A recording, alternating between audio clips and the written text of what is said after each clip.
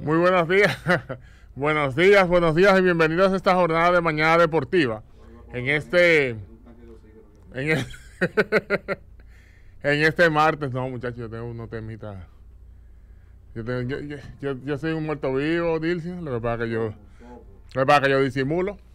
Eh, martes 21, 21 de marzo. ¡Ay! Mañana son los soberanos. Ay, sí, mañana son los soberanos. Martes 21 de marzo, año 2023. Gracias a Dios por este día, por esta mañana. Bendiciones para todos. Martes, ni te cases ni te embarques de mañana deportiva te apartes. ¿Viste lo que te dije, Dilcio? El tipo ayer no sabía de nada. No sabía de nada. No sabía de nada. Un muerte. en vez-.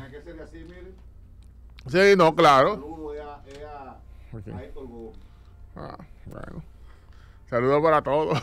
Dilcio Matos en las cámaras, a través del streaming, en vivo, a través de cdnradio.com.do. Estamos en vivo a través de la plataforma High Definition in this moment, aquí desde Santo Domingo, República Dominicana. Hmm, hoy es martes, pero vamos a ver. Alexis Rojas en los controles. Hermano. Ah, wey. Hey, hey, hey, tiene fuerza. Mm, Marte, oye, Marte. Bueno, está, com- está complicado esto. No, porque tú sabes que el, el viernes, ¿qué día es? No, viernes 24, algo así, 24. Muchachos, eso, eso es para que. Ah, Alexis, sí, sí, Alexis, sí. Alexis cobra. hey, el que le no sé, ya se empujó el Satoshi Terrero acá con nosotros, David Terrero. ¿A quién le damos? ¿Cómo fue? Cuando le den el deseo de llegar a los otros. Ah, sí, sí, sí, sí, ya eso. Yo a arreglar. Dice, dice que va a ser una reunión a partir del lunes. Buenos días, David Terrero, ya tú sabes. ¿Cómo andamos? ¿Cómo andamos, compañeros? Bendiciones para todos. Buen día. Eh, esperando que todos los que están en sus hogares, de camino a su trabajo, los que están en las diferentes localidades alrededor del mundo se encuentren de la mejor manera posible y que Dios, por supuesto, les dé un muy, muy buen resto del día. Bueno, señores, eh, siendo las 7, 5 minutos, recordarle a todos ustedes algo muy importante. Sabroso. pero muy importante. A partir de ahora tenemos, ah, para que usted tenga un buen día, definitivamente un buen desayuno, tiene que dirigirse a Wendy's para que disfrute de las French Toast Sticks, las tostadas francesas que son crujientes por fuera, deliciosas por dentro y acompañadas con un rico syrup que puedes disfrutar desde ahora, desde ahora mismo, hasta las 10.30 de la mañana de lunes a viernes y los fines de semana hasta las 11 de la mañana. Ya lo saben, para que disfruten de las tostadas francesas French Toast Sticks que solamente te ofrece Wendy's en toda la República Dominicana. Dirígete a la República de Colombia, a la Máximo Gómez, Núñez de Cáceres, zona oriental también. Estamos también en la Núñez de Cáceres, en la Tiradentes con Gustavo Mejía Ricard. En fin, donde quiera hay un Wendy's. Además tenemos diferentes opciones, otras opciones de desayuno, opciones de almuerzo como las hamburguesas, los, por supuesto, las ensaladas, los chilis. Mm, ay, qué rico, qué rico. Wendy's que debería de hacer una visita este viernes. Ojalá que haga una visita este viernes, Wendy's. Quiera Dios. Sí, para que sea un viernes bien.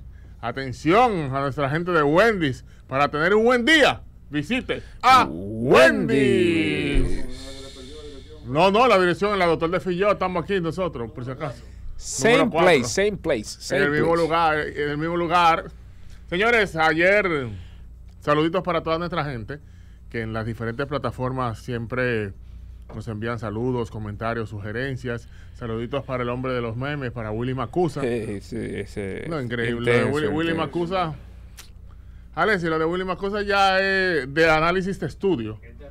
Es terrible. Willy- No, no, mira, ha hecho memes ya, me puso el bronco, me puso dije que se que la muerte, todo 80 mil memes me ha, me ha hecho.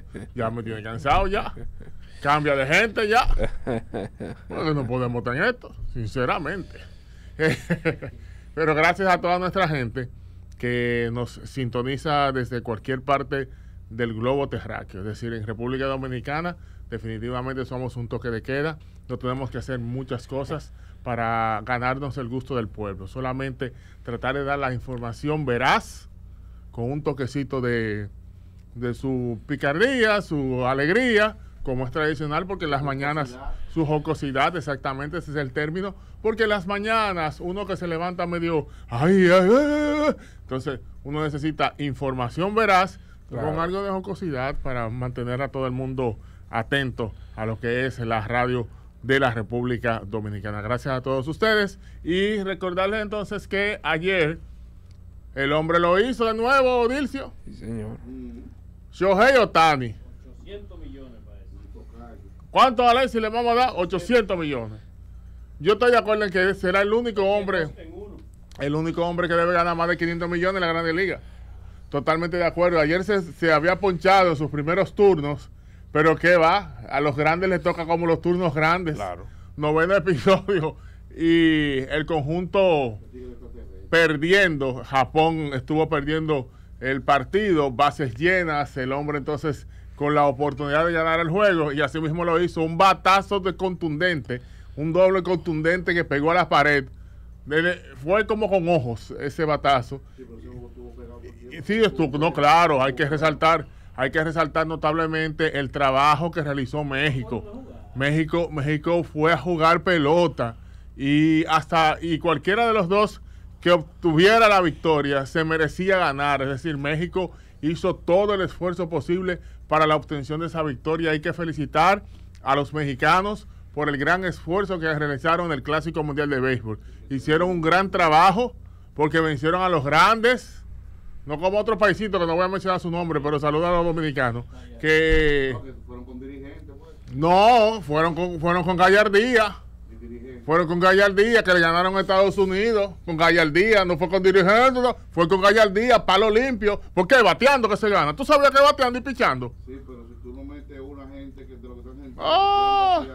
Va a ser, sí, va a ser con el cancito. Yo, ay, muchachos, hay unos equipos que yo me siento ahí a ver televisión y te ganan el juego solo.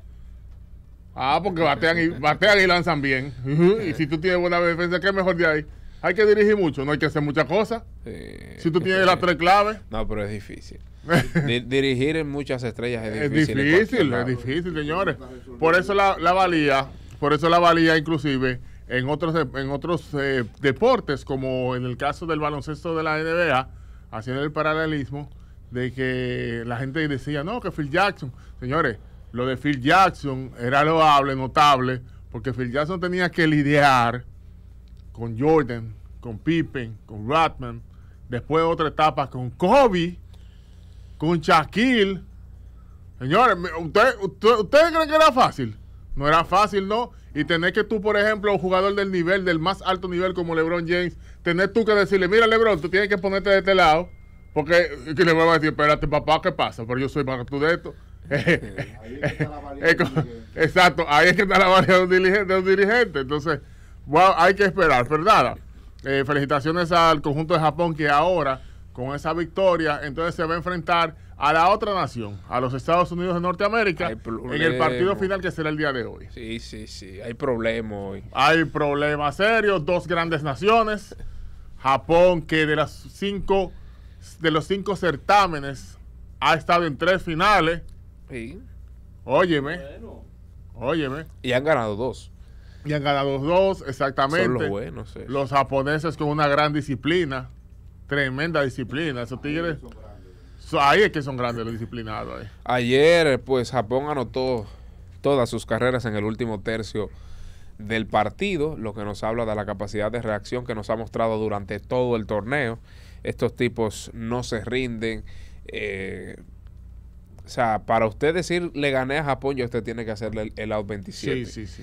Eh, increíble de verdad la capacidad de reacción de estos y algo rapidito ingeniero porque si no me falla la memoria creo que Chohei Otani inició el noveno episodio con doble Con, El que- con doble, sí. el que conectó el doble para ganar fue, Fue, eh, no, fue este muchacho, Murakami fue Murakami, sí. sí Murakami Murakami dio un doble entre el center field y ahí.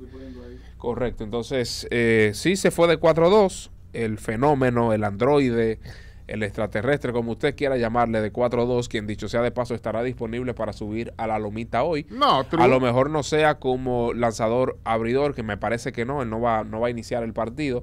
Pero ante cualquier turbulencia, usted sabe que va a ver a Shohei Otani tirando a 102 millas en el montículo, además de estar bateando como tercero en el orden al bate. O sea.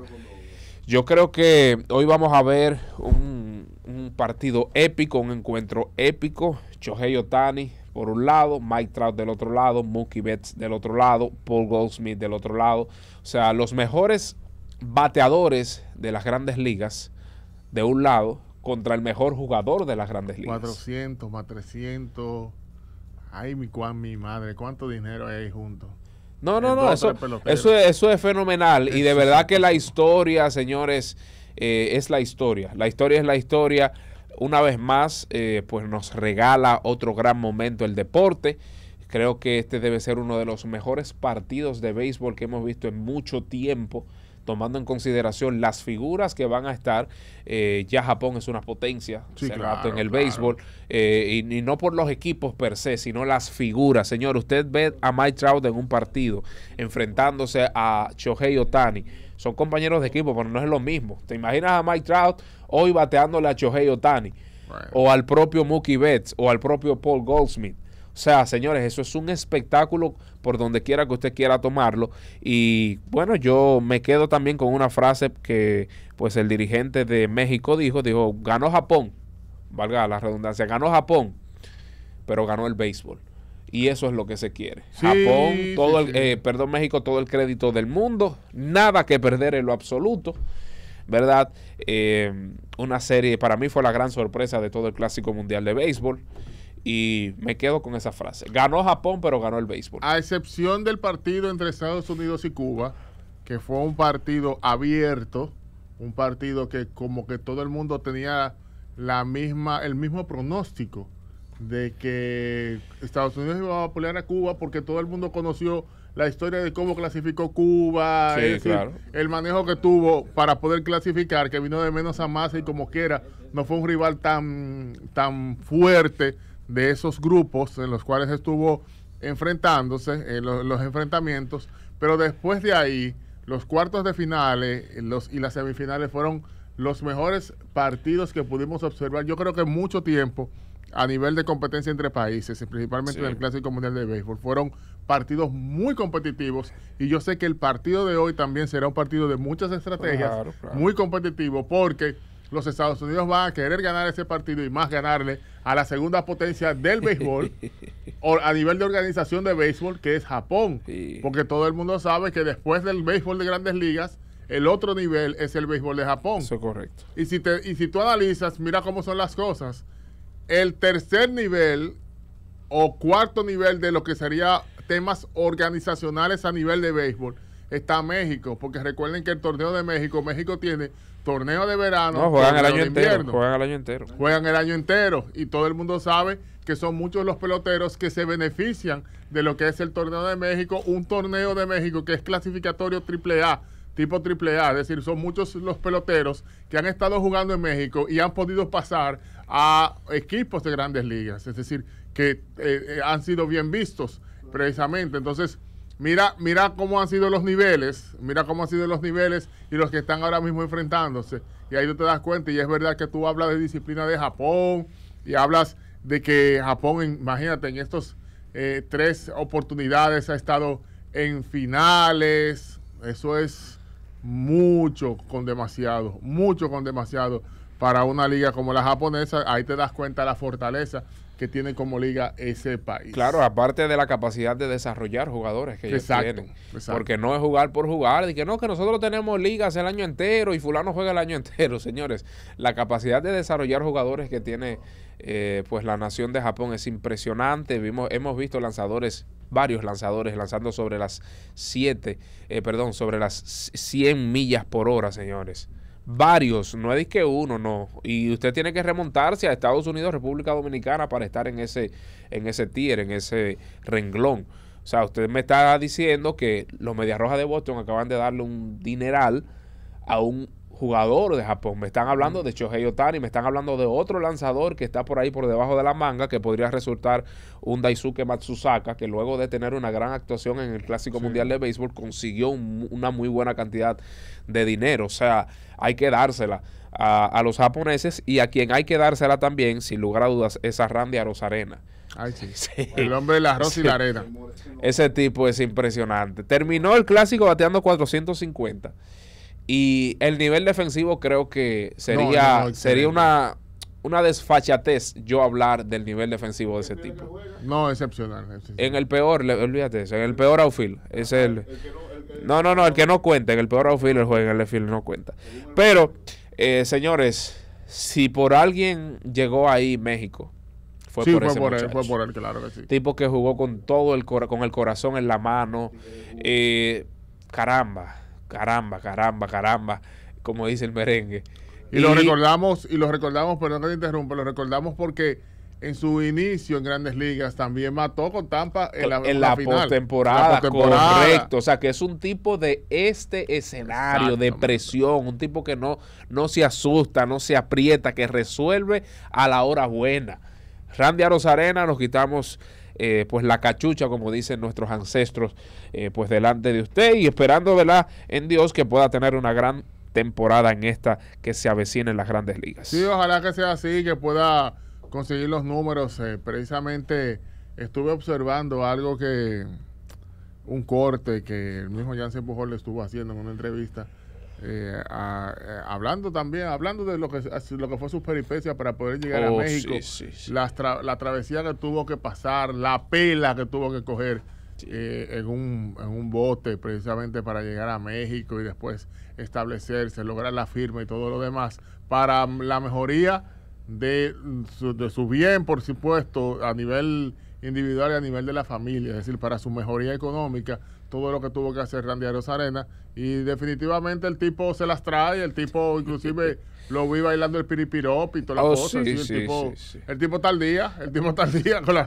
con las cosas, eh, con la, con la música moderna y todo eso, entonces eh, qué bueno, qué bueno que haya hecho un gran trabajo y que decidió también ser, vamos a decir, eh, fa- no favorecer, sino también agradecer, agradecido de México. Sí, claro. Porque él tuvo la oportunidad de poder reforzar a su país. Normal. Pero él, él reforzó México porque él sabe que México le, les abrió, le abrió las puertas precisamente.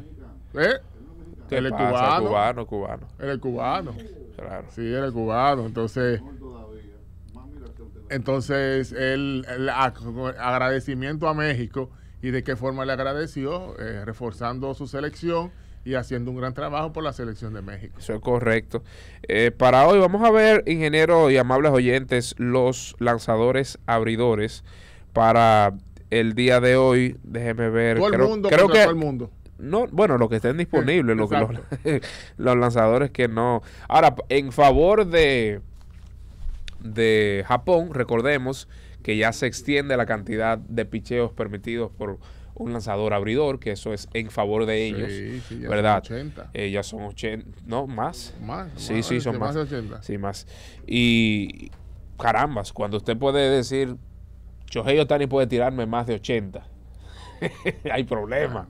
Cuando tú puedes decirme que el otro lanzador también puede ir sobre las sobre los 80 picheos, ya eso te da un poco más de, diríamos que te, te hace descansar, ¿verdad? Un respiro.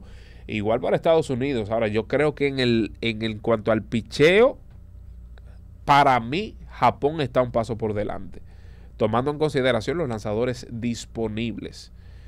Hoy, para mí, hoy, Japón tiene un paso por delante. Ofensivamente, a ver si, si terminan despertando algunos bates que, que- que continúan pues dormitando por Estados Unidos. Si despierta dos de esos bates, hay problema. Porque todo el mundo conoce la capacidad de ellos.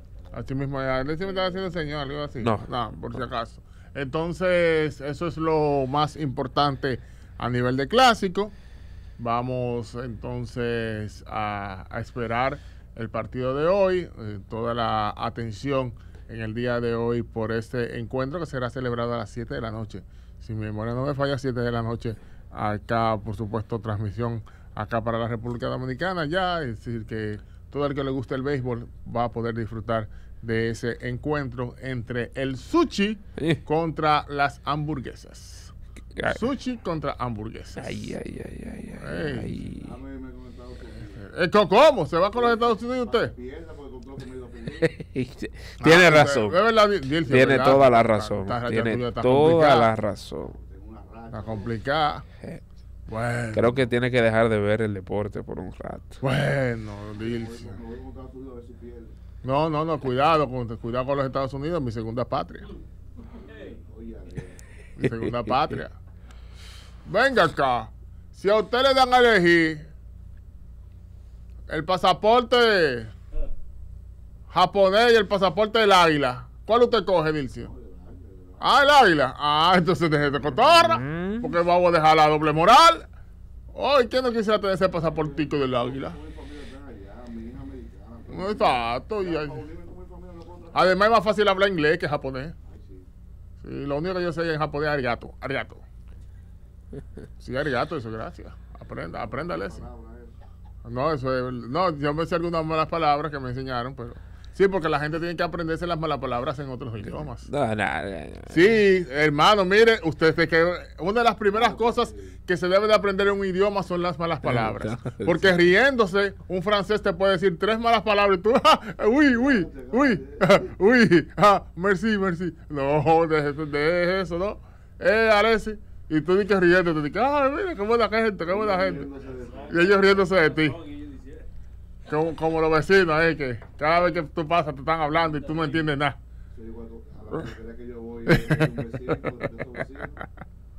Ay, ay. Mira, Ah. hoy por los Estados Unidos va el lanzador de las Diamantinas de Arizona, Merrill Kelly. Merrill Kelly es el lanzador abridor por los Estados Unidos. Eh, pues para que la gente más o menos tenga noción de quién es ese lanzador. 13 y 8 la pasada campaña con un promedio de carreras limpias de 3.37. Lo digo porque para muchos no es un nombre eh, para nada No, no conocido. conocido. Claro, 33 partidos iniciados en la campaña 2022, repito, 13 y 8, 337 promedio de carreras limpias, lanzó más de 200 entradas, eh, pues ponchó un total de 177 bateadores, su máximo de carrera. Así es que ese será el lanzador abridor, Merrill Kelly. Si a Mark DeRosa, eh, Mark DeRosa no le da un Yadier Molina, ¿verdad? Si no lo cambia a última hora, pero hasta el momento es el lanzador a iniciar el partido por los Estados Unidos. Bueno, entonces, en este caso, eh, vamos, vamos a ver, vamos a ver si resulta. Cuando viene a ver un opener, eh, este muchacho de Arizona y, y ahorita. Sí, no, no, tiene- no, no, no, plan sin, sin- dudas, sin dudas, sin dudas. Ahí cualquier turbulencia, cualquier cosa, pues todo el que esté disponible va a subir a la lomita de los sustos. Y repito, para mí, Japón, en ese sentido, o sea, en el apartado de los lanzadores para hoy, tiene un paso por delante de Estados Unidos a juzgar por la ofensiva de cada uno. ¿Qué tenemos el lidón? Ve acá, Eh, eso te iba a decir oficialmente ya, entonces, Pichito ya del oh, sí, Toro. sí, sí. Gustavo Núñez, nos referimos a Gustavo Núñez. Sí. Ya oficialmente otro más del núcleo de los Toros del Este. Yo no sé. Desmembradas las estrellas orientales. No, coincidencialmente, los dos santos desmembrados. Porque San sí. Pedro y San Francisco, Sí, lo- lo- los dos Macorís, sí, los han desmembrado. sí. Son los dos equipos que han sido menos favorecidos con el tema del draft. Eh, de la los, agencia dos, libre. los dos Macorís, de la agencia libre, perdón. Los dos Macorís. Es decir, que vamos a ver cuál será el comportamiento. Esto, esto es pelota. Esto es pelota. Eh, algunos se están reforzando con geriátricos. Mm, Porque yo, porque hay que hablar claro, es verdad. El escogido se está reforzando, pero son unos geriátricos también. Cuidado. Sí, eso es peligroso. Cuidado con los geriátricos. Eh, Entonces, que no, que, no que no fueron funcionales el año pasado. Ahora hay que ver si esa luz de esperanza entonces se abriga, porque yo te voy a decir una cosa. Si equipos como los Toros del Este y los Leones del Escogido no tienen buenos resultados en la temporada próxima, yo creo que ahí se va hasta, el to- hasta, lo- hasta las mascotas se van de ahí. Rufo, pero Rufo el primero que va a tener que salir huyendo. claro.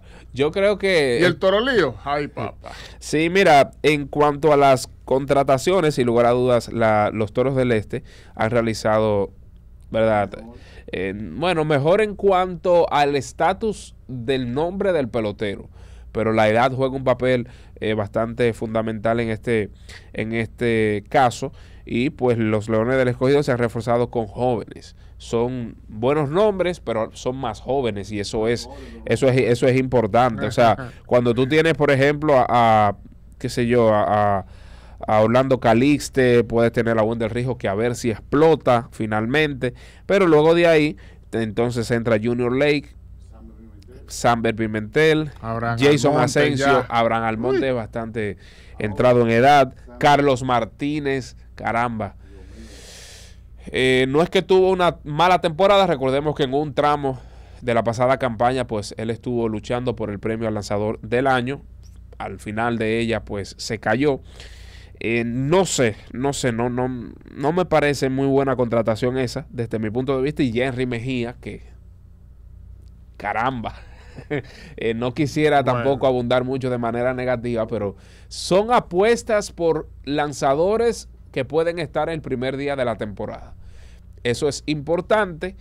eh, pero no sé, no sé, esta liga comienza, eh, a diferencia de otras, comienza dura, porque recordemos que aquí vienen muchos, muchos novatos a impresionar, a ganarse sus puestos, eh, y suenan a cualquiera, a cualquiera que no esté en ritmo, lo suenan.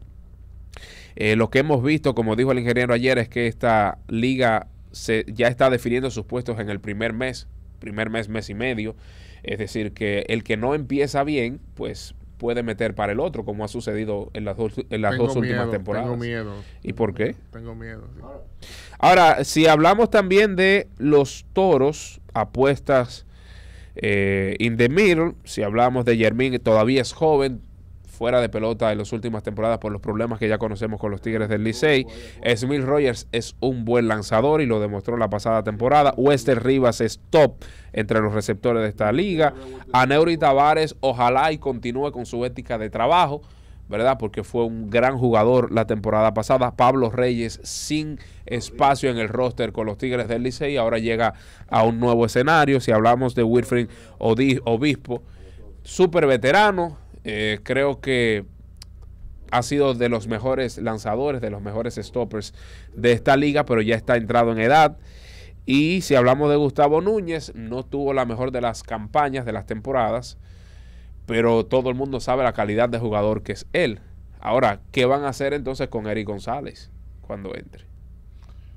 Muy buena pregunta. Y... Oh, no, perdón, perdón, No, perdón, perdón, perdón, Gustavo. No, no, no, no, estoy hablando, estoy hablando de locura, estoy Eric hablando de locura. Eric No, no, estoy hablando de los toros, perdón. ¿Qué van a hacer entonces cuando entre esa camada de jóvenes de ellos? Lo que vimos la temporada pasada. Si van a entrar. Yo creo que sí.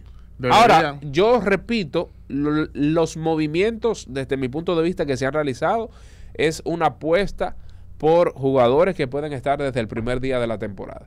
Ángelo Valles nos ha dicho lo mismo, el gerente del Licey nos ha dicho lo mismo, que esta liga ya está para eso. ¿Cuáles son los jugadores Lidom?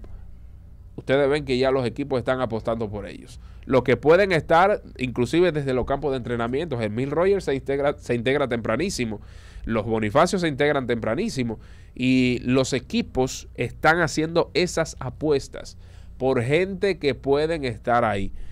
Ahora, cambio de escenario, como dicen por ahí, escobita nueva, barre bueno, vamos a ver. Porque muchos de esos jugadores quedaron a deber la temporada pasada y a ver si escobita nueva barre bueno, ¿verdad? Ahora- Porque se le ha dado un dinero, ¿eh? Ahora, la presión, yo creo que va a ser el momento de mayor presión para Jesús Mejía. Sí. Porque, y tú dirás, pero ¿cómo va a ser? Claro que sí, porque cuando Jesús estuvo con los gigantes, Jesús realizó movimientos basados en varios aspectos, principalmente temas de draft, jugadores jóvenes que llegaron, tuvieron jugadores con mucho talento que se quedaron, que han permanecido con los gigantes en su momento, cambios Claro. que realizaron, que fueron cambios estratégicos que lo beneficiaron notablemente al conjunto. Le dio moringa a lo de Madrid, la verdad. Exactamente. Le dio moringa a lo- los otros equipos. lo- Mario. Los Mario. Pero ahora, cuando tú tienes un presupuesto, una cartera abierta, y tú puedes elegir las opciones, eso es como un buffet que tú estás eligiendo. Sí, claro. Ahora hay que ver que los participantes, que la, que la comida quede buena. Entonces, en este caso, él tiene mucha presión porque ese equipo tiene que funcionar, porque a ti te han dado toda la libertad toda, absolutamente toda la libertad para tú poder elegir. Entonces, si tú tienes esa opción, tienes que entonces tener un papel, un papel eh, victorioso, un papel, vamos a decir, preponderante en esta liga, pri- principalmente iniciando la temporada. Vamos a ver qué Sí. sucede. Eso, ese tema que tú acabas de tocar, David, de los jugadores jóvenes, Claro. es súper importante porque hay una serie de jugadores con mucho talento, Claro. con mucho talento, los Jesús Sánchez y compañía, que también que hay que ver cuando, cuando esos muchachos jueguen, que van a querer jugar, qué va a pasar con ellos. Mira, Gary Sánchez es un tema también que tienen que tomar en cuenta. Gary Sánchez pertenece a ellos Claro, todavía. claro. Y Gary Sánchez podría ser una buena opción con los Leones del Escogido, digo yo, o con cualquier otro equipo, los mismos gigantes del Cibao. ¿Eh? ¿Cuál es el Gary Sánchez, el receptor, el que estuvo en el clásico. Pero tiene que jugar pelota aquí, porque Gary Sánchez ahora mismo no tiene Pero trabajo en Estados claro, Unidos. claro. Él tiene que jugar pelota. Claro. Si él quiere seguir jugando pelota, él tiene que jugar pelota en República Dominicana. Claro. Si él quiere seguir jugando pelota. Papá. No, tú no puedes, poco puedes estar diciendo eso, porque todo... Aquí, aquí también la gente está muy equivocada. Aquí está muy equivocada. Aquí el envidioso que no puede beber, que le, le quiere tirar que bebe. Deje, que- deje el que bebe tranquilo. Tú sabes Si que bebe con su cuarto, que beba con su cuarto. Ahora, si está haciendo lo mal hecho para beber, es otra cosa. Pero si está bebiendo con su cuarto, que beba con su cuarto. Y llegué borracho que se acaba de jugar otro día. Ah, pero déjalo cuando vida me da los honrones y tú te quedas callado. Tú sabes que con relación a los movimientos de Jesús Mejía, no sé si se juzgaría mucho su labor por el poco éxito que, que puede conseguir el equipo, que podría conseguir el equipo. Porque a diferencia del baloncesto de la NBA, tú conformas un equipo para que a través de su química te ganen partidos. O sea, a través de la labor en conjunto. El béisbol según lo que podemos ver, la naturaleza del béisbol es, un, es un- una disciplina deportiva más individual, que depende más de la labor individual de cada uno de sus representantes. O sea, hablamos, por ejemplo, de San Diego la, la- pasada temporada. Bueno, que si San Diego no, no tiene éxito, fue un fracaso la labor del gerente. No, el gerente cumplió en traerte lo mejor disponible al equipo. Ahora, que funcione ya depende del jugador. Porque es que el gerente no batea ni para. O sea, cuando tú tienes la oportunidad de capturar en un mercado a Gustavo Núñez, tienes la oportunidad de adquirir a uno de los mejores lanzadores de la pasada temporada como Smil Rogers, pero aparte de eso tienes la oportunidad de, capturar a uno de los mejores bateadores de la temporada pasada como Aneuri Tavares, a uno de los mejores receptores de la liga como Webster Rivas. Yo creo que en caso de no tener éxito, este conjunto de los toros, no sé si se pondría en tela de juicio la labor de Jesús Mejía. Ay, sí. Desde mi punto de vista. Porque es que las piezas están. Ya eso es una labor del dirigente, que las piezas funcionen. Ajá. Sí, es una labor del dirigente. Oh. que cada una de. Sí, en, ¿En serio. serio? Claro que sí. Oh, que claro. el dirigente- el no, es que, es que es Oh. diferente. O sea, el baloncesto. No, no, el dirigente. Oh. Perdón, eh, perdón. El dirigente tiene una función distinta en el baloncesto y, un- y otra en el béisbol. No es igual. ¿Cu- cuál En el béisbol, en el béisbol, bueno, lo vimos aquí. Lo vimos aquí. Ok, voy a preguntar algo. ¿Quién tuvo mejor desempeño de acuerdo a sus funciones? Hablando del equipo dominicano, eso es tema pasado, pero para traerlo a colación y que la gente tenga un, ¿verdad? un refresh. Nelson Cruz o Rodney Linares. Nelson Cruz, en teoría. ¿Verdad? Porque ahí él, él colocó las piezas. Ahora, ¿quién la manejó mal? El dirigente. Y eso es lo que quiero decir. Eso es lo que quiero destacar. Pero o sea, que- el gerente se encarga de colocar las piezas, de hacer funcionar esas piezas. Es el encargado, el cuerpo técnico del equipo. Es el dirigente que dice, no, mira, fulano de tal, eh, usted ahora tiene que salir porque usted está bateando cero bicicletas. Fulano, de, ahora de bateador emergente. Y no, que mira, que Germín, mira, aquí no se acepta malcriadeza. Ya eso es una labor del dirigente. No, que aquí, no, que, que fulano está de guerrillero. Eh, Jesús Mejía, mira, fulano está de guerrillero, no lo quiero aquí. Eso es una labor ya del dirigente. Sí, pero, pero el gerente, aquí nosotros siempre le echamos la culpa a los dirigentes. Porque eso es-. Porque normalmente siempre ha sido la temática. No, no. Pero cuando tú analizas los equipos, que son equipos débiles, equipos de jugadores ya viejos, equipos que, de que no funcionan, la gente dice, pero el gerente fue que los buscó. Entonces, es muy lindo tú No, decir ahora. espérate, que son "Oh, dos casos distintos". Gustavo Núñez, pero si Gustavo Núñez no te batea en situaciones de corredores en primera y segunda, por decirlo de esa manera, un ejemplo, ¿por qué tú estás buscando a Gustavo Núñez?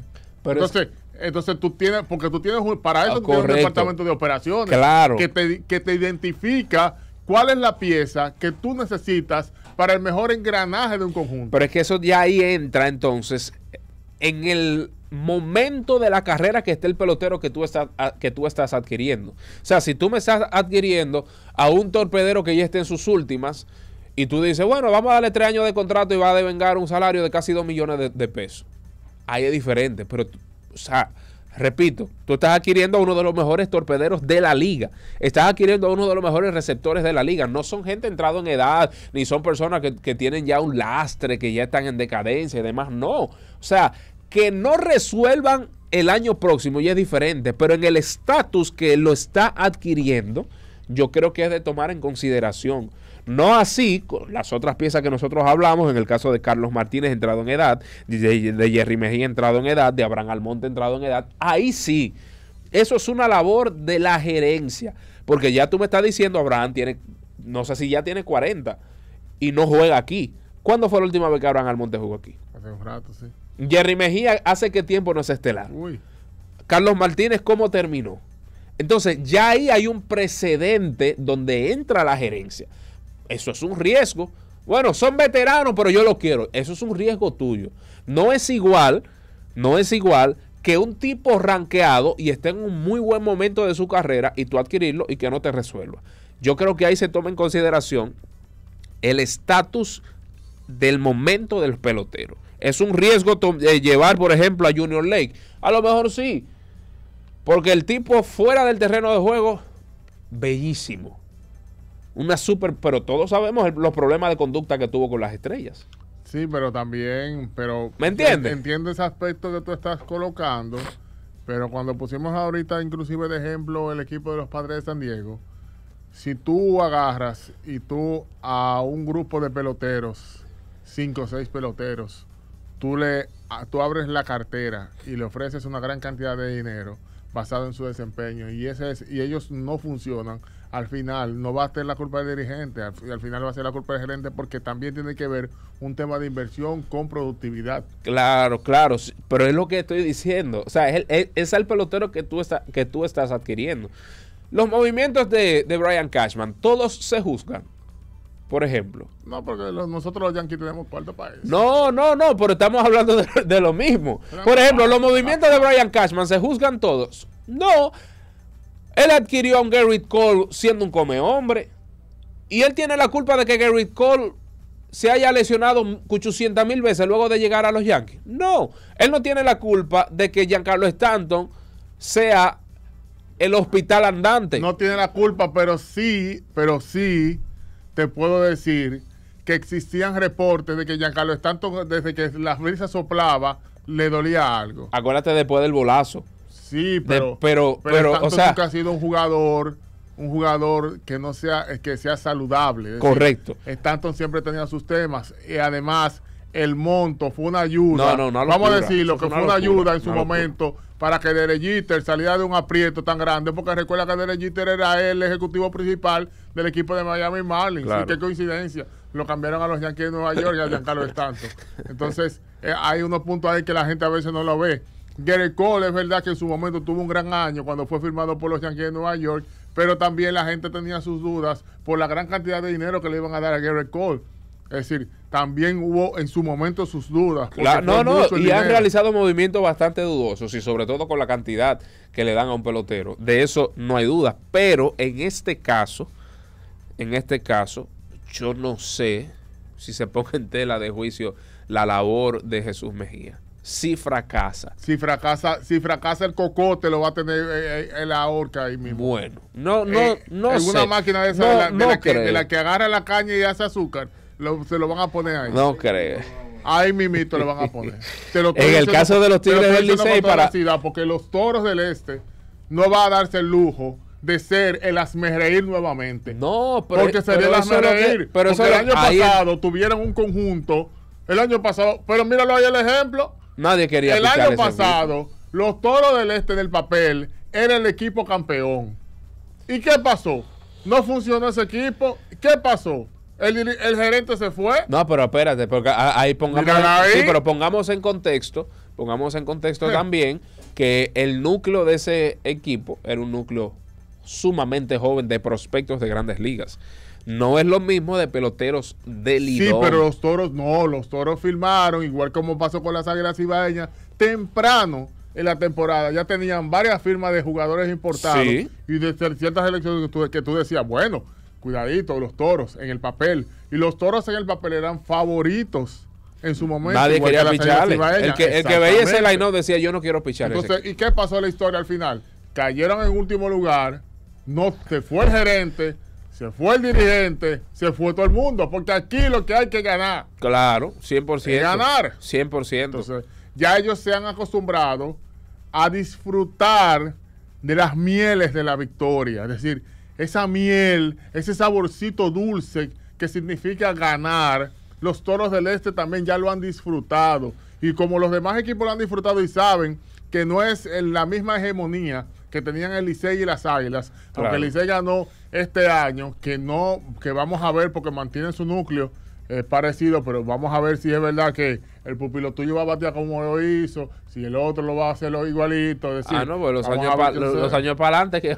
No, no, digo yo, tú ves. Es para adelante que van. vamos a ver, porque ese es otro punto que ellos tienen que tomar en cuenta ese Sí, equipo, sí. de que verdad todo le salió bien, pero hay, es, es un año más que va a tener ese conjunto. Claro, claro. Y sobre todo que ahí era donde iba a entrar hablando de edad, hablando de adiciones de peloteros, ¿verdad? En edades cuestionables. Pues José de Paula, súper veterano. ¿Quién? José de Paula, eh, al Licey.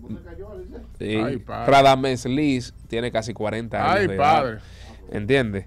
Y ya entonces Dani Santana está también entrado en edad y pues José Cisnero son estamos ¿Tú sabes hablando que que pasa son con- ¿Tú sabes lo que pasa con la capital? Que buscó los jugadores más veteranos.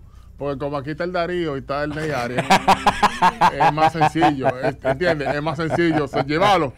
Llévalo huyendo. Llévalo porque- al Ney, rápido. Sí, porque que, qué coincidencia que los más veteranos están aquí en la capital. Es más fácil traerlo aquí que tra- llevarlo allá al Juan Bosch de la Vega. A lo, me- a lo mejor sali- salieron más baratos. Uno no sabe. También salieron más baratos. A lo mejor y, salieron y una cosa importante que la gente no, no uno no lo ve de relajo, ahora hablando en serio. El Quisqueya es un estadio para lanzadores. Pero claro. Es decir, claro. el tsunami fácilmente te hace un juego. Carlos Martínez con el cogido te tira el jueguito, Radamelí te tira tu jueguito ahí del Quiqueya ahí con su agüita de melado y su cosita. Y cuando viene a ver, Ese es ganan otro punto de- también bueno. Ganan Claro. un par de partidos porque en el Quisqueya es para lanzadores, igual que el estadio de la Romana. Sí, igual sí. que la No, no, romana. la romana hay que darle. Ese, Hay que brice- darle. ese bricería, eso, eso es terrible.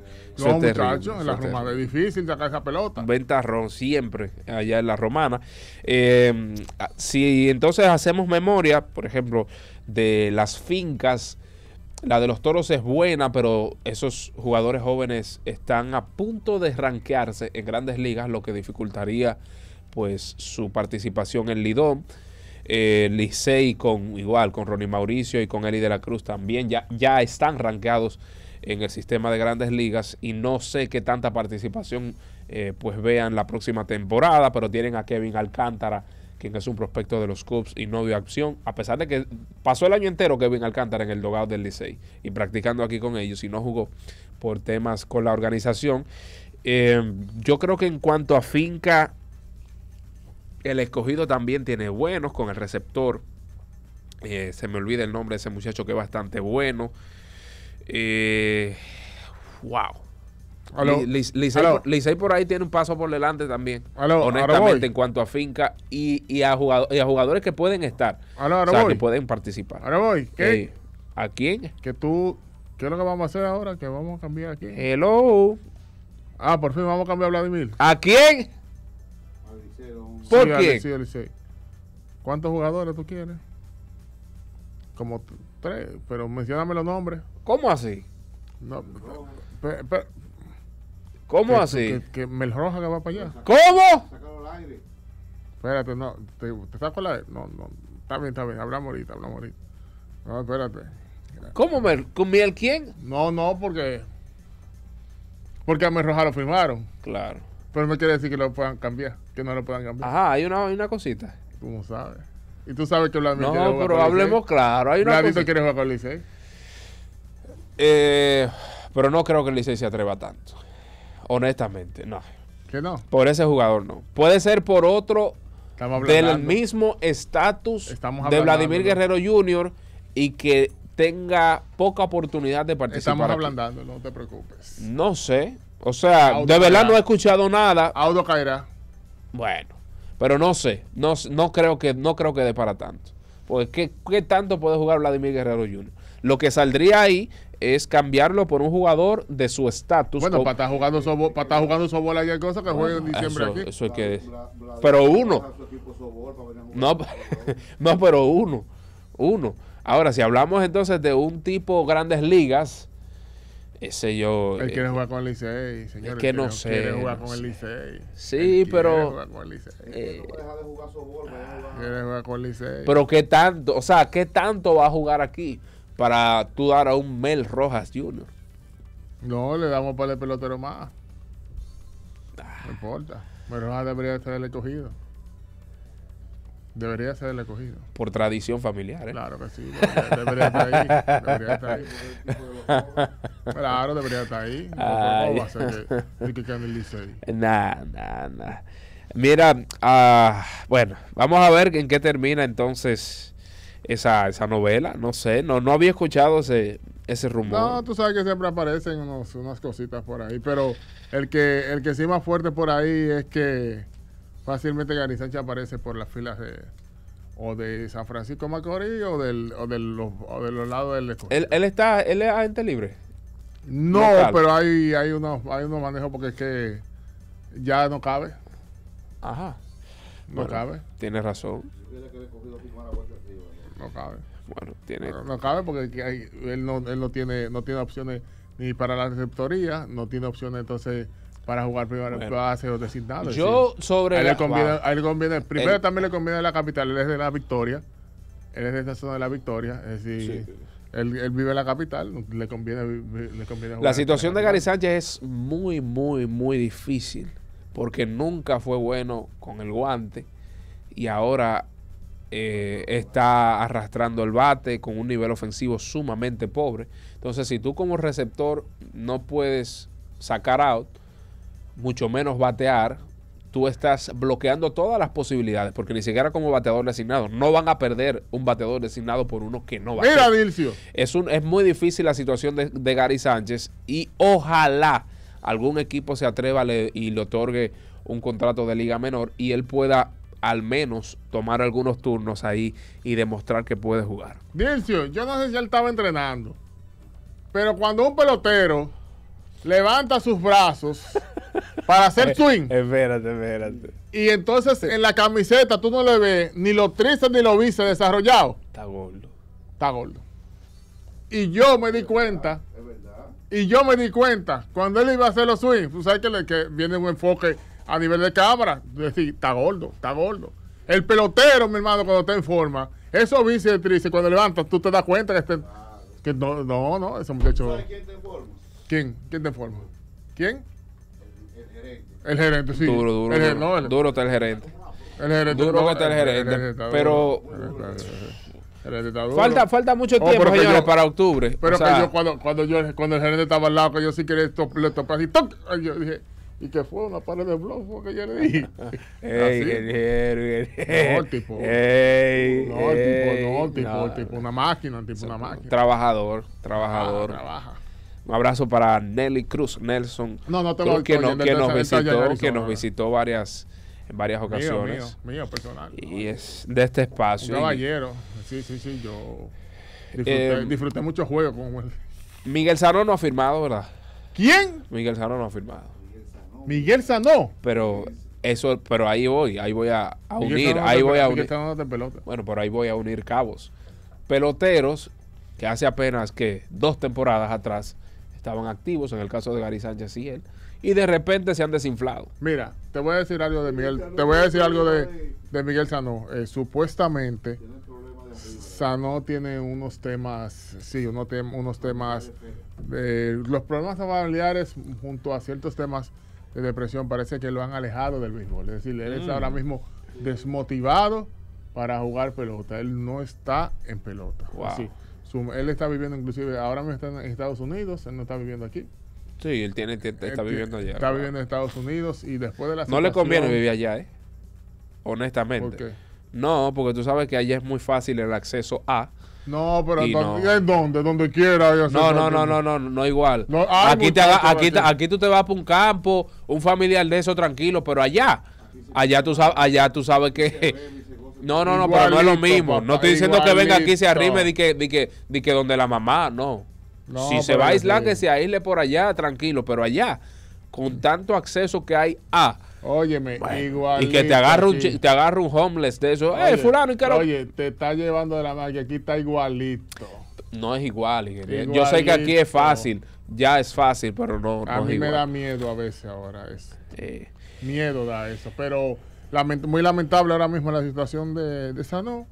Eh, supuestamente ha estado bajo ciertas situaciones eh, un tanto hasta depresivas, podríamos decir, y no está en pelota. No está en pelota. Ojalá que ese muchacho pueda eh, recibir la ayuda ¿Cómo profesional necesaria para él volver otra vez a sus a su profesión, que es la de jugar béisbol. Recuerden que ese muchacho ah, pasó por situaciones desde la juventud que tuvieron que hacerle hasta pruebas óseas, pruebas de los huesos para determinar cuál era su verdadera edad y fue y todo fue sí, sí, sí. es decir, tuvo que eh, colocarse a hacer, hacer ese, ese tipo de estudios y al final pudo recibir ese contrato de unos 3 millones, creo que fue de bono con el equipo de los mellizos de Minnesota. Sí. Eh, y tenía una carrera que todo el mundo pensaba que iba a ser una carrera ascendente. No, pero a los 16 años ese muchacho era un fenómeno. Sin embargo, las cosas fueron de, de más a menos. Muy lamentable. Por eso es que a veces uno dice que el dinero no lo es todo, que la fama no lo es todo.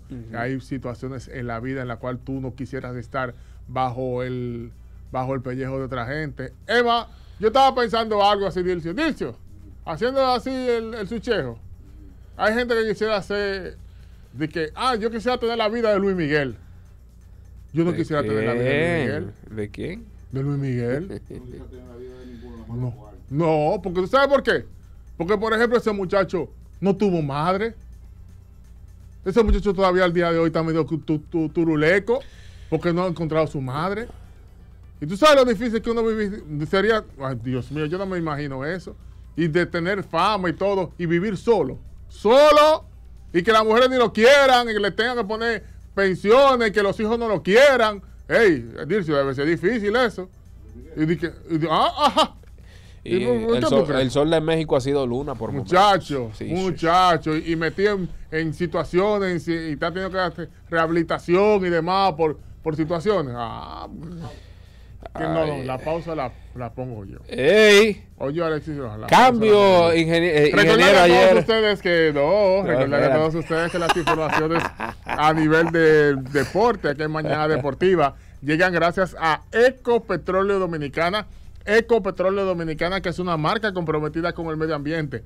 Nuestras estaciones de combustible están distribuidas, diseminadas en todo el territorio nacional para ofrecerte un servicio de calidad. Somos Ecopetróleo, tu gasolina, la gasolina de todos. En Farma Extra te cuidamos de corazón. Visita nuestras 56 sucursales y recibe un 20% de descuento en todos los medicamentos todos los días. Síguenos en arroba Farma Extra RT. Dale el toque dulce a tus mañanas con las French Toast Sticks, las tostadas francesas que solamente te facilita Wendy's para que tengas un buen día, un buen desayuno. Disfruta de las tostadas francesas crujientes por fuera, deliciosas por dentro, acompañadas con un rico sirop que puedes disfrutar hasta las 10:30 de la mañana de lunes a viernes y los fines de semana hasta las 11 de la mañana. Dale ese toque dulce a tus mañanas con las French Toast Sticks. Además, diferentes opciones de desayuno que te ofrece Wendy's para que tengas definitivamente un, Un buen, buen día, día. una buena tarde y una buena noche.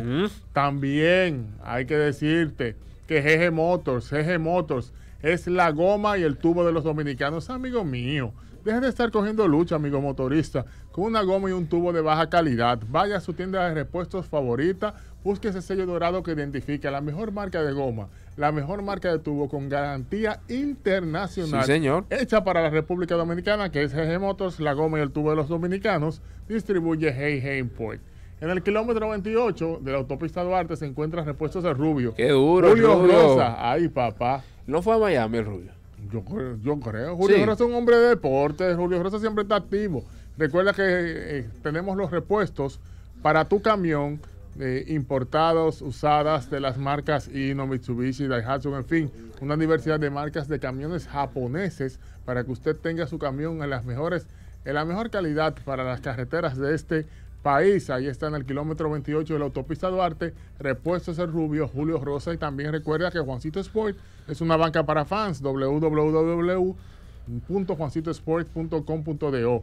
Líneas y resultados en tiempo real de tus deportes favoritos. Puede jugar desde la comodidad de su hogar o su oficina a través de su tableta, celular o en su computadora y contamos con el respaldo de más de 100 sucursales en todo el país. Juancito Sport presenta en Mañana Deportiva los resultados en las diferentes disciplinas deportivas. Los músicos sacaron a pasear a Sacramento Kings 128 por 120, 112, 108 Memphis Grizzlies sobre Dallas Mavericks 121 por 108 Golden State Warriors al fin ganan en la ruta sobre um, Houston Rockets 140 por 134 Minnesota Timberwolves sobre New York Knicks a pesar de los 57 puntos de Julius Randle.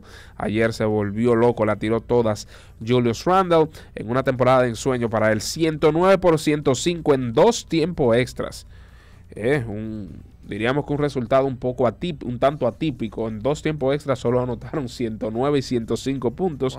Bulls sobre a Philadelphia 76ers y pues 115 por 109 finalmente Charlotte Hornets sobre Indiana Pacers. En el hockey sobre hielo, dos goles a uno Ottawa Senators sobre el equipo de Pittsburgh Penguins en el partido de Florida Panthers y Detroit Red Wings. El equipo de Florida derrotó a Detroit cinco goles a dos. Blanqueada, cinco goles a cero del Colorado Avalanche Eh. sobre el equipo de Chicago Blackhawks. Victoria en el día de ayer también, cinco goles a cuatro del conjunto de Edmonton Oilers sobre San José Sharks. Y finalmente, el partido más tarde de la jornada en el hockey sobre hielo, victoria, una pela, ocho goles a dos del conjunto de Los Ángeles Kings sobre Calgary Flames en los correspondientes al hockey sobre hielo. Y recuerden que en el Clásico Mundial de Béisbol, Japón se impuso, dejando en el terreno a México seis carreras por cinco. Alexis Rojas, ahora sí, encárguese.